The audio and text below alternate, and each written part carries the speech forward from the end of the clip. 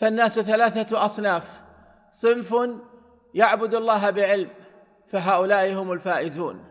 وصنف يعبدون الله بضلالة وجهل فهؤلاء هم الضالون. وصنف يعلم الحق ولا يعمل به فهؤلاء هم المغضوب عليهم.